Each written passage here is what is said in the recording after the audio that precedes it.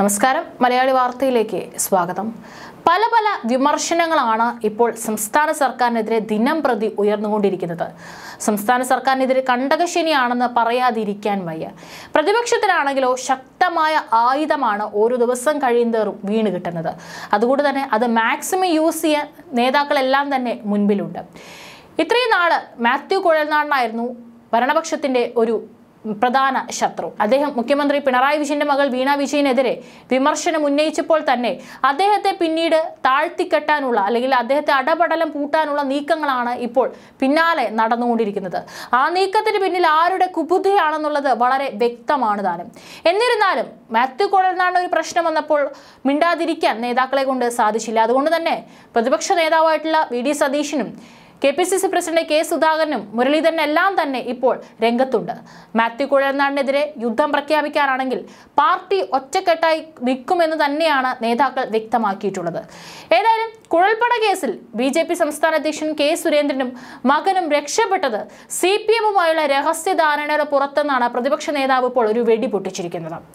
കേസിൽ സുരേന്ദ്രന്റെ പേര് പുറത്തു വന്നിട്ടും അദ്ദേഹത്തെ ഇതുവരെ പ്രതി ചേർത്തിട്ടില്ലെന്ന് സതീശൻ ചൂണ്ടിക്കാട്ടുന്നുണ്ട്. പ്രതിപക്ഷ നേതാവ് മുഖ്യമന്ത്രിയുടെ വലം കൈയാണെന്ന സുരേന്ദ്രന്റെ പരാമർശത്തിന് മറുപടിയാണ് സതീശൻ ഇക്കാര്യം പറഞ്ഞത്. ദേശീയ തലത്തിൽ കോൺഗ്രസ് മുക്ത ഭാരതമെന്ന നയമാണ് ബി ജെ പിയുടേത്. കേരളത്തിലെ സി പി ഐ നേതാക്കളുടെ നയം കോൺഗ്രസ് വിരുദ്ധതയാണ്.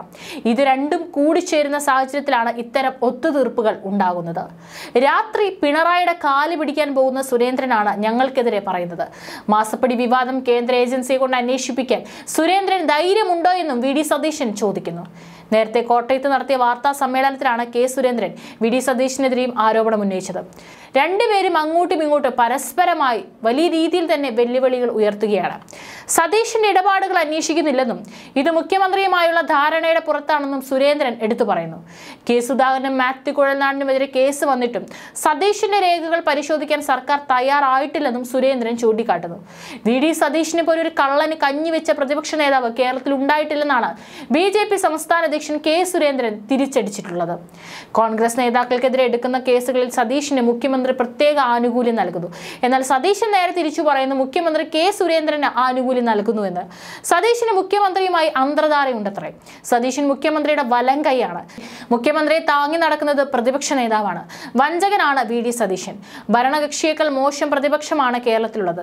ഇങ്ങനെ ഒരു പ്രതിപക്ഷം കേരളത്തിൽ എവിടെയും ഉണ്ടാകില്ലെന്നും കോട്ടയം മണർക്കാട് നടത്തിയ വാർത്താ സമ്മേളനത്തിൽ അദ്ദേഹം പറഞ്ഞു.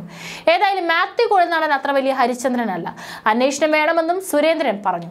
മാസപ്പടി വാങ്ങിയ കമ്പനിയിൽ നിന്ന് തന്നെയാണ് മുഖ്യമന്ത്രിക്ക് വേണ്ടി മന്ത്രി പി രാജീവ് കൈതോലപ്പായിൽ പണം കടത്തിയതെന്ന ദേശാഭിമാനിയുടെ മുൻ എഡിറ്റർ ജി ആർ ശക്തിധരന്റെ ആരോപണം ഗുരുതരമാണെന്നും കെ സുരേന്ദ്രൻ പറഞ്ഞു. മാസപ്പടി നൽകിയ കമ്പനി തന്നെയാണ് അന്ന് മുഖ്യമന്ത്രിക്ക് പണം നൽകിയതെന്ന കാര്യം അന്വേഷിക്കണമെന്നും സുരേന്ദ്രൻ പറഞ്ഞു.